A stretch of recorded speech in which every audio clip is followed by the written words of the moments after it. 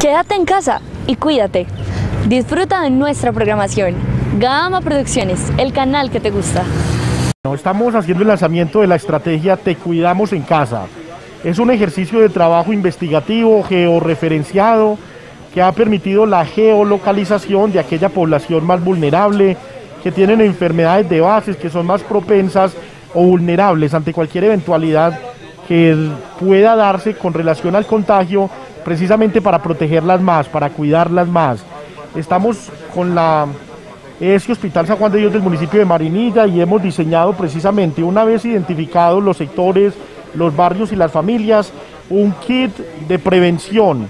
que está integrado por unos elementos tapabocas, eh, un gel antibacterial,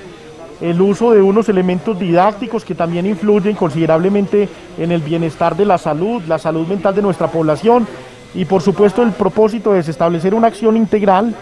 estratégica, innovadora, que lleva a acciones descentralizadas con nuestros profesionales desde la Secretaría de Salud y nuestro Hospital San Juan de Dios del municipio de Marinilla y por supuesto que podamos llegar a cada uno de esos hogares y a cada una de esas personas para su cuidado y su protección en familia. ¿Se ha hecho un trabajo previo identificando? Sí, efectivamente, más de dos meses, dos, tres meses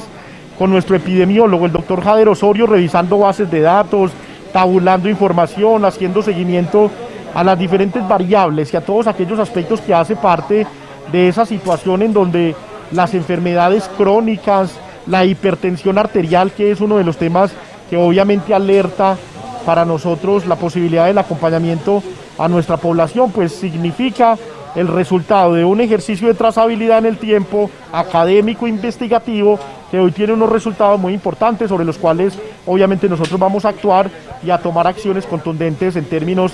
de la prevención, de la protección y el acompañamiento a las familias. ¿Cómo van los cuatro infectados que ha detectado Amarilla en estos momentos? Sí, efectivamente, por fortuna el balance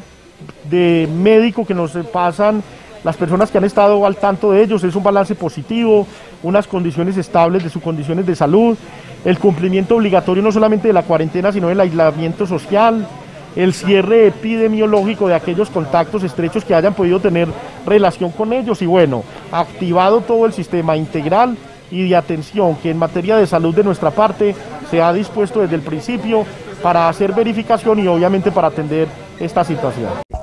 Somos el canal 2, Gama Televisión, del Sistema Digital Rural